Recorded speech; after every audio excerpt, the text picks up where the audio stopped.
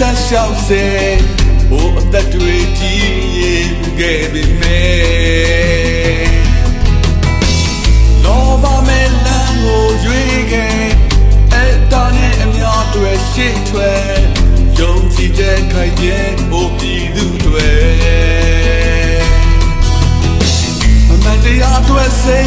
ကတယ်မလီက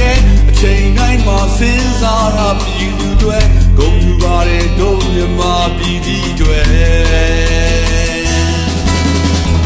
ဘိုးမင်းအောင်မျိုးဆက်မို့တော်လည်းရဲ့အမတရားအတွက်စနေမကြောက်တာပြည်သူတွေဟိုအသက်တောင်ပေးခဲ့ပြည